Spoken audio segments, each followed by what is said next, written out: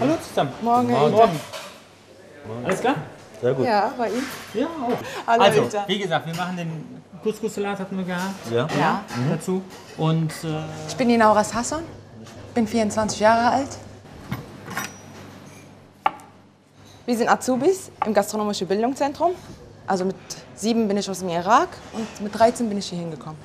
Äh, mir war alles hier sehr neu. Die Kultur, die Menschen, das Essen. Ja, und ich musste von Null anfangen.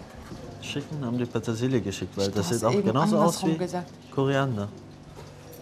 Ich kann keine Sprache. Ich hatte keine Musstest du auch Freunde erstmal von links nach rechts. Genau, ich musste mich überhaupt komplett umorientieren. In der Schule habe ich nichts verstanden. ich bin Ibrahim Magam, ich bin 29 Jahre alt. Kann ich die so stehen lassen und die Soße machen? Nach der Schule Ja. hatte ich auch keine Arbeitserlaubnis jahrelang. Und das war schon deprimierend und sehr schwierig. bin auf dem Projekt durch äh, meine Arbeitsvermittlerin im Jobcenter drauf gekommen.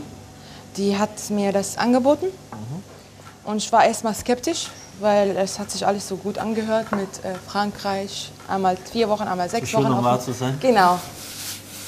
Das Beste, was ich außer Kochen gelernt habe, ist interkulturelle Unterschiede. Für mich war super und ja, die Aufenthalte, dass man allein auf eigene Beinen zum Teil stehen musste. Ja.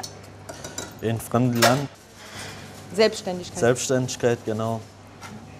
Ich habe meine Leidenschaft äh, erst gefunden, als ich hier angefangen habe mit Praktikum und dann nach Frankreich.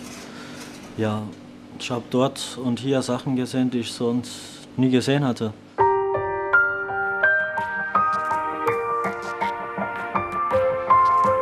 Und ich möchte so weit kommen wie möglich ist. Vielleicht irgendwann Sternekoch und berühmt werden. Wer weiß. Das Kochen ist äh, meine Zukunft. Jetzt, jetzt äh, steht mir mittlerweile fast alles offen. Ich stehe mit beiden Beinen auf. Nicht mit einem, sondern mit beiden. Wir können so weit wie möglich gehen und uns steht nichts im Weg.